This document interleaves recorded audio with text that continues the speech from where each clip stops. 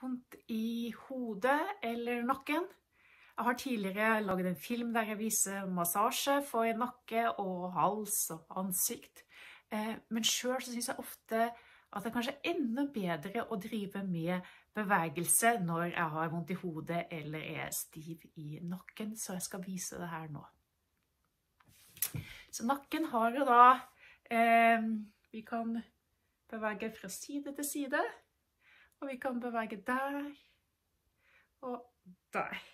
Så ofte en kombinasjon av de tre bevegelsene er fin, og det er fint også å jobbe samtidig som du slipper ut pusten, for det har også en avspennende effekt både på muskulaturen i nakken, men også på hele kroppen. Vi slapper mer av når vi slipper pusten ut. Så bli med og bevege deg. Kjenne fotsålene i gulvet. Bøye knær mens jeg puster ut. Og så lar jeg hodet synke ned foran brystet. Puste litt inn igjen.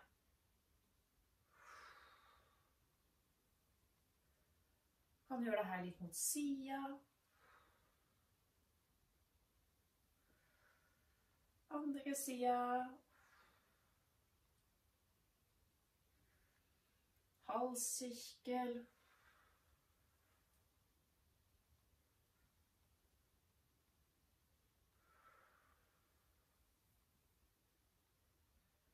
Og kanskje finne et punkt Oi, der jeg kjenner det akkurat litt eh, øverst i ryggen. Da kan jeg godt bli der. Rotere litt rundt. Massere punktet muskulaturen med bevegelsene mine, og så gå videre. Rotere fra side til side. Lar nesa gradvis peke nedover.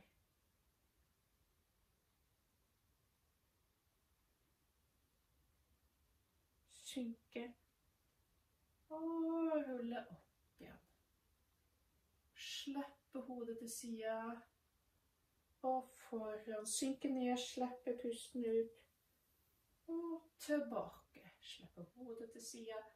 Synke fram. Og tilbake.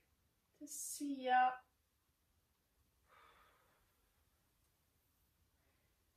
Tilbake. Til sida. Fram, pust ut tilbake. Synke ned. Komme opp.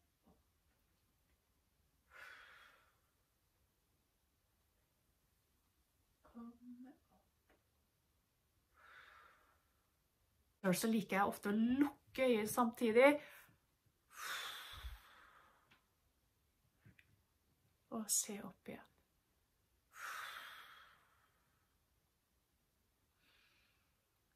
Og du bestemmer litt sjøl hvor lenge du vil holde på. Du kan godt ha noen pauser der du åpner brystet, strekker deg litt den andre veien, og så igjen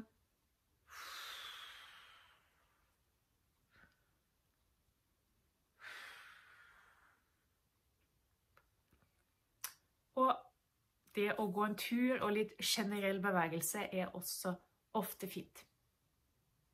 Og sjekk også ut eh, filmen min med fem punkter til mindre hodepine.